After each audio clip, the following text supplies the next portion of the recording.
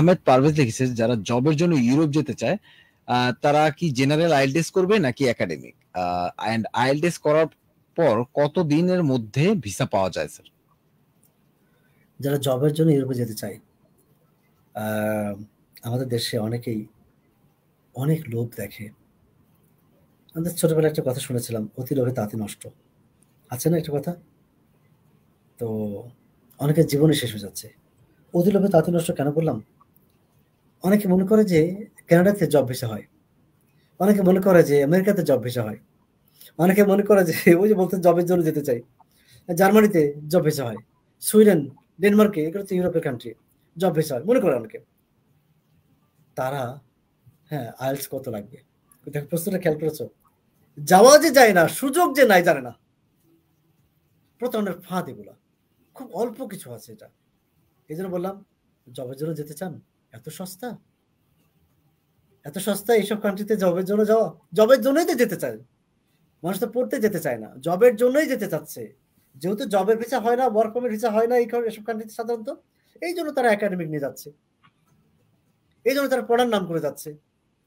এই জন্য তারা আইএল টেস্ট করছে। মনে বোঝাতে পারিনি আমি। জবের জন্য যেতে চাচ্ছে, তারা কিন্তু পড়ার জন্য যেতে চাচ্ছে না। একশোর মধ্যে নাইনটি এইট পার্সেন্ট যাচ্ছে হচ্ছে জবের জন্য যেতে। ইনকাম করার জন্য যেতে চাচ্ছে। থাকার জন্য যেতে চাচ্ছে। পড়তে যেতে চাচ্ছে না। যেহেতু ওইটার ভিসা দেয় না এই জন্য তারা স্টুডেন্ট ভিসার নাম নিয়ে যাচ্ছে। অভিনয় করতে যাচ্ছে। এই অভিনয় করছে কেন? এটা করতে পারলে সেখানে যেতে পারছে। আহমেদ পারভেজ বোঝাতে পেরেছে মানে এই জন্য অনেকে প্রতারণা শেখার হচ্ছে। তুমি জানো কয়েকদিন আগের কথা বলি, ফরিদপুরের একটা ছেলে। তাকে বহুবার বলানো হয়েছে। তাকে বহুবার তারা বলেছে তারপরে তারা শুনেনি। তো বলেছিল যে, এটিএম স্যারের সাথে দেখা করো। এটিএম স্যারের কথাগুলো শুনো, আইএল টেস্ট করো।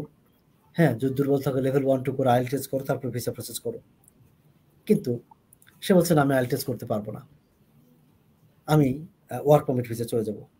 তুমি জানো, এটা করতে যে সেই ছেলেটা ইটালিতে যাওয়ার পরে, তুমি জানো যে ইউরোপে যাওয়া যায়। এখান থেকে লিবিয়া গেছে। মনে হয় কত লাখ সম্ভবত বাইশ লাখ টাকা নিয়েছে তারা। এখান থেকে ইউরোপে গেছে। ইউরোপে যে, সেখান থেকে একদম পানি পথে সাঁতার কেটে, ওখানে একটা মানে ড্রামের মধ্যে করে ওকে নিছে। তেরো দিন পরে জানতে পারল তার সহকর্মী যারা তাদের সাথে ছিল, তারা জানালো যে ছেলেটা মারা গেছে।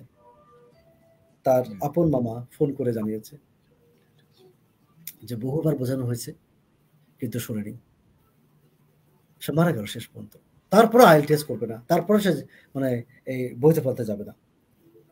তো এই জন্য বললাম যে যেখান থেকে আছেন, যদি কেউ বলে থাকে জব ভিসা, এইসব উন্নত মনে রাখবেন যে হতে পারে বেশিরভাগ ক্ষেত্রে তো প্রতারণা, মিথ্যা প্রতারণা, আল্লাহ তাদেরকে হেদায়ত দান করুন জীবনে একবার দেখা করার জন্য, কারণ যে পথে আপনি হাঁটছেন, আমাকে দিয়ে কোটি টাকা, শত কোটি, হাজার কোটি আমাকে কেনা যাবে না। ওই বডি কন্ট্রাক্ট আমার কাছে আসে। কোনোদিন আমাকে দিয়ে এসব হবে না, আমি বিক্রি হই না। আল্লাহ যেন বাঁচিয়ে রাখছেন, ততদিন এই নীতি থাকতে চাই। ইমান নিয়ে মরতে চাই। আজকে আহমেদ পারফেজের মতো অনেকে আছে যারা এই ওয়ার্ক পারমিটে যেতে যেয়ে শেষ হয়ে যাচ্ছে, সর্বশান্ত হচ্ছে। Hope I got my point.